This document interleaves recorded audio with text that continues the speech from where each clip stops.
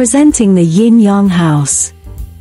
Built in the country of Singapore, this house has a concrete facade on all sides but one, even the roof is armored with concrete, similarly to a tortoise. However, there is a reason for the Yin Yang name. Clues of good and bad is in the name.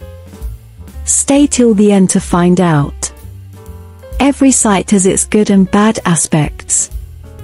And every architect tries to design the building to take advantage of the good things while at the same time shielding it from the bad. This house is no exception. On the front, the house faces west and has a hard streetscape. The sides and rear are built up, with neighboring houses close and densely built up. Fortunately, the south boundary of the house faces an adjoining road and a large open field, and this is the good side. And the design of this house is perhaps the clearest expression of the dichotomy between good and bad. A concrete shell wraps around the structure of the house, following the trapezoidal shape of the house, which narrows from front to back.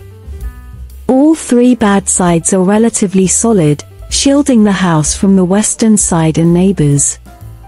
On the good side, the house is completely open, offering views of the open space. The house is also perforated at the top with a slanting concrete screen, offering shade to the glass facade while at the same time revealing greenery thrusting through the perforations. A counterpoint to this precise geometry of the concrete shell and screen is a series of curvilinear terraces. They start on the roof of the car porch and sinuously curve their way to the side.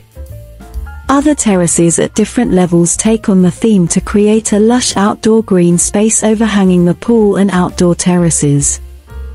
At the entrance, a bonsai tree sits amidst a water feature, surprising the visitor behind the concrete wall.